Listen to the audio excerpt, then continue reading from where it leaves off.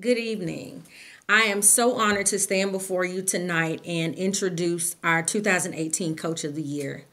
I'm ecstatic to be given the honor to present this award to someone who so, holds such a special place in my heart.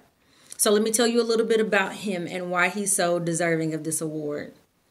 He's a year 2000 graduate of Jackson High School, where he excelled in the classroom and on the basketball court.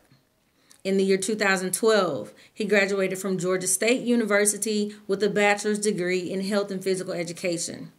With that degree, he obtained a position as a health and PE teacher at the Main Street Academy in College Park.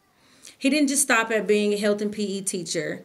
He had a passion and goals for what he wanted to do at that school and the changes that he wanted to make at that school. And as a result, he started the boys group that goes by the name of Boys to Men. This is a mentor program that he set up with some of the other gentlemen at the school to um, provide mentorship to the young black men of the community, to show them that they can succeed um, and they can be great. They don't have to be the stereotype. Um, and he and other men in the school took that leadership position and have began to make a change in these boys' lives. In 2016, he obtained his master's degree in educational leadership from the Keller Graduate School. He is currently enrolled in Keller Graduate School to obtain a specialist in education. Um, at the Main Street Academy, he is making great strides in improving the behavior of the young men in the school.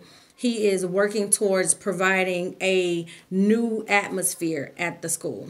He takes pride in his job, and it, to him, it's not so much about coaching. Um, it's more about being there for these young men.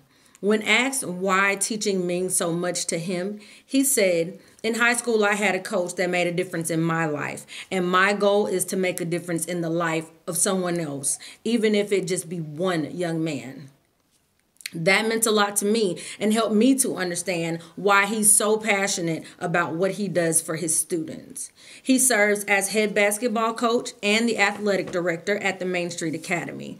He was also pushed into coaching volleyball, which turned out to be another passion for him. And in return, he pulled boys into the sport of volleyball where they normally wouldn't have been interested.